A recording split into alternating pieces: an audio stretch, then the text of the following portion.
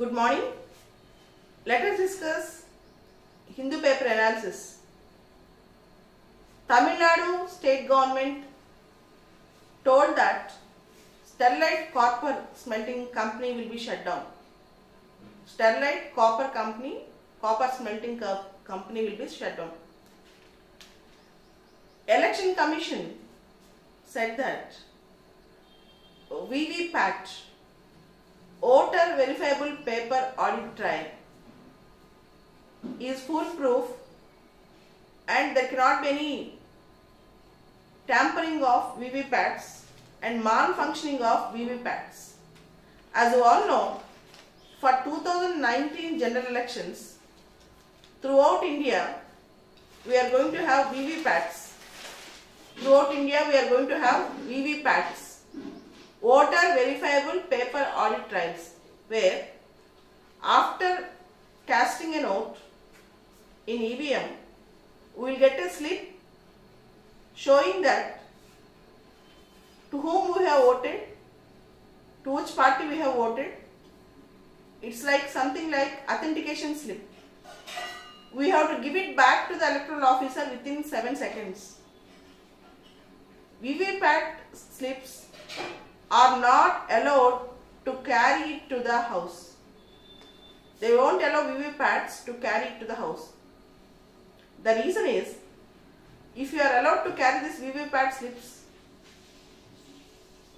already we have money power in politics. Political parties or candidates will start reimbursing the money after seeing the VVPAT slip. Even in India, most of the women vote for the political party without telling to their relatives or husband or father.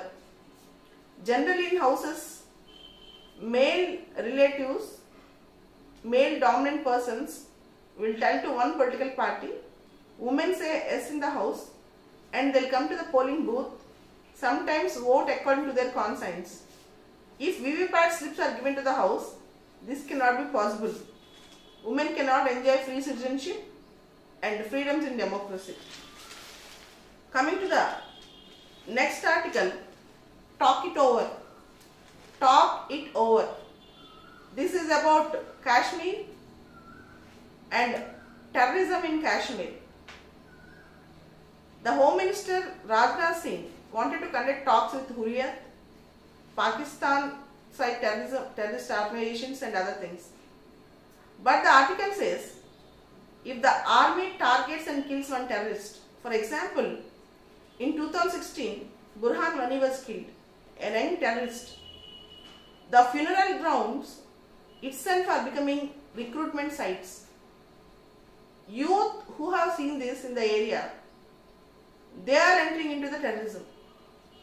Once a terrorist was targeted and killed, in the process of targeting and killing the terrorists, many of the innocents are being killed.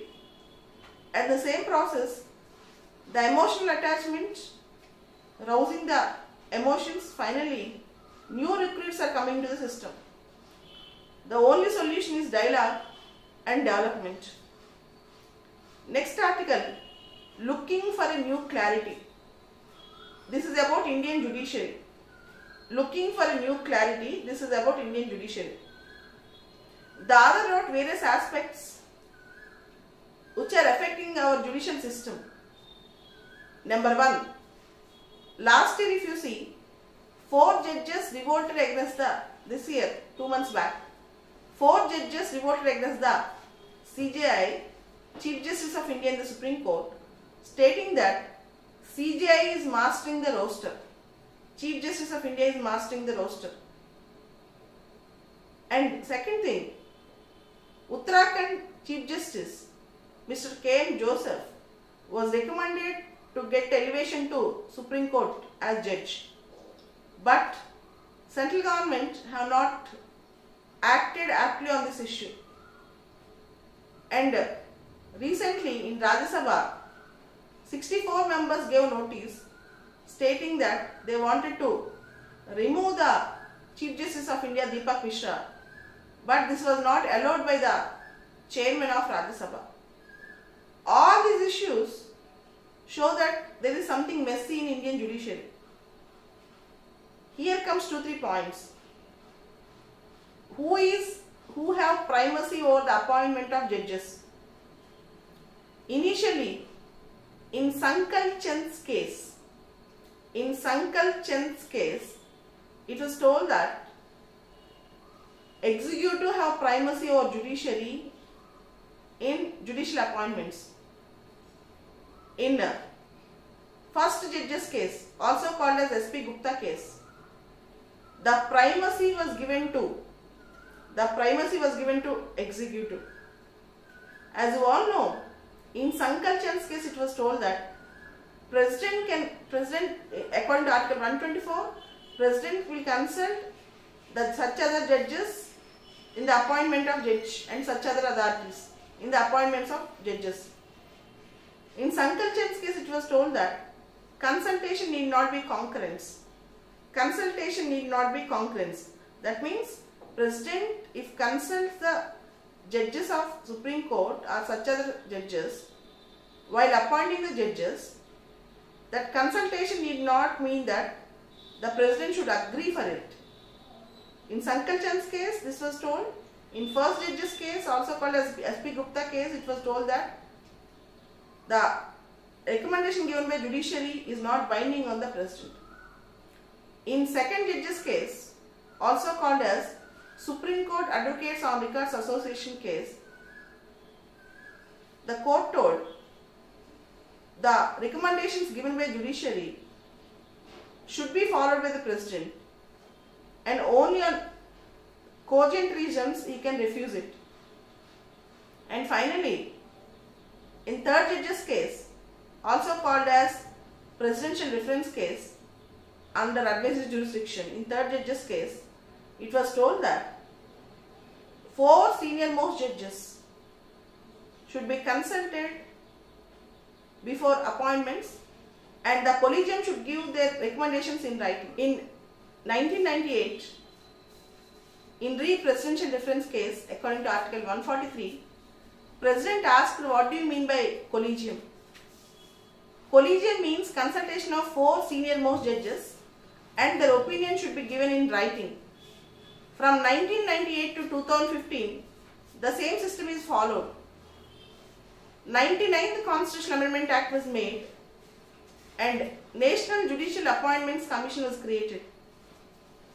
In 2015, Supreme Court declared that National Judicial Appointments Commission is unconstitutional and invalidated 99th Constitutional Amendment Act. It invalidated 99th Constitutional Amendment Act. And now again the judiciary have primacy over judicial appointments. It is ending up with judges appointing judges. But is the judiciary supreme or is a parliament sovereign? Judicial supremacy versus parliamentary sovereignty. This tussle is going on and uh, in the government we all know there are three organs legislature, executive and judiciary. And all the three organs should work together to run the system. Nobody is above the other. The thing is, in the three organs of the government, we have separation of powers. Separation of powers, the theory was given by Montesquieu. But at the same time, the three organs, we cannot decide that they should work with watertight compartments. There should be effective coordination. And judiciary was given special responsibility to be as a guardian of Indian constitution and to protect the fundamental rights. But judiciary is not a super legislature or super executive. Once if it understands this, the sanctity of the institution can be maintained forever. And delay in cases, corruption in judiciary, all these things are also creeping into the system. If you clear this, the entire judicial process will be fine. Otherwise, social revolution is not forever. Next article in IPL yesterday, day before yesterday, we have Chennai Super Kings, they have won. And then protecting the incarcerated women. Incarceration means imprisonment or putting them in jail. The other says he is not arguing that women should not be arrested or women should not be kept in jails.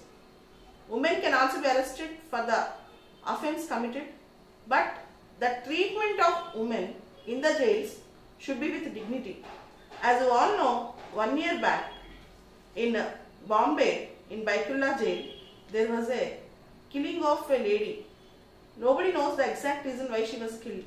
But 200 interns in the jail, they fought against this and agitated against this. Coming back to this issue, if the woman is pregnant, what about her child in the womb? And uh, up to three years, the children can be reared by the baby care centers inside the jails. From three years to six years, they will be given nursery training inside the prison authorities. And beyond six years, the children will be sent to NGOs or care homes. But nobody can guarantee whether the NGO or child care home is taking care of the child properly. Just because the child was born to a convict, that does not mean that the child's fate can be decided by a NGO or a child welfare organization. Apart from that, in the India, particularly the Borstal homes, the jails for children, they are also not properly managed.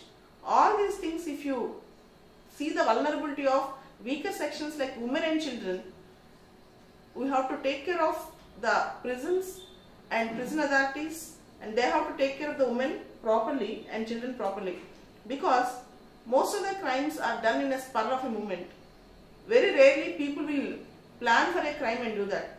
So criminals, if they were reformed according to Gandhi's reformation theory, they can become better citizens rather than cursing them. We have to protect them and make them as a better citizens. This is the message that was given in the article. Coming back, Jan Dhan Yojana four long years. Exactly four years back, the Prime Minister's ambitious program Pradhan Mantri Jan Dhan Yojana was launched. At that time in India, 53% of the adults have bank accounts. Now, according to the latest survey, 80% of Indian adults have bank accounts. Jan Dhan Yojana was successfully meeting the first target of financial inclusion. That is, most of the adults should have bank accounts. That was successful. Second thing, out of the bank accounts which we have, which were opened from Jan Dhan, Jandan Yojana, from last one year, 40, more than 43% of bank accounts have not been operated at all. No withdrawals, no deposits. Namesake, most of the accounts were opened. In demonetization time, some of the bank Jan Dhan Yojana bank accounts were used for Benami transactions. Beyond that, financial inclusion, if it is a target, there are various things which you have to address. It's not just opening the bank account, but whether the man is being included in the financial process, whether the growth and the benefit of the growth is reaching them or not is a question. And credit availability. If you see, according to the RBI guidelines, uh, there are two types of minor credit and major credit. Generally, minor loans, if they are below 2 lakhs, they are considered as minor loans. More than 2 lakhs, they are considered as major loans. Even today in India, institutionalized credit is a distant dream.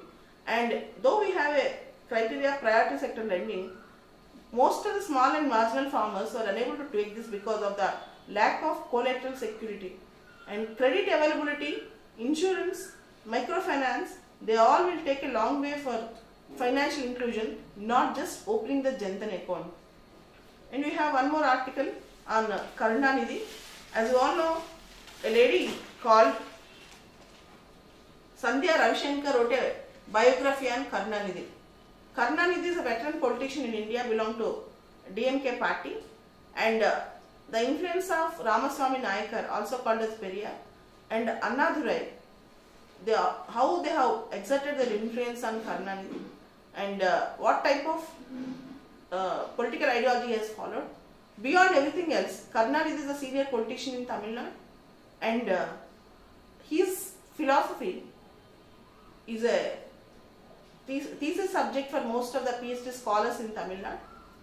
Beyond that, Karunanidhi, we can learn a lesson, but a long-standing MLA from Tamil Nadu and senior politician and uh, Karunanidhi have given a tough fight for AADMK in many respects. He is around 92 years old. Let us hope that will have a best career before his demise. And uh, last but not the least, very important article arms race. The money which we spend on arms race, if you spend on education and health, it will be far better an achievement. But countries need defense rather than anything else. These are the important current affairs. Thank you very much.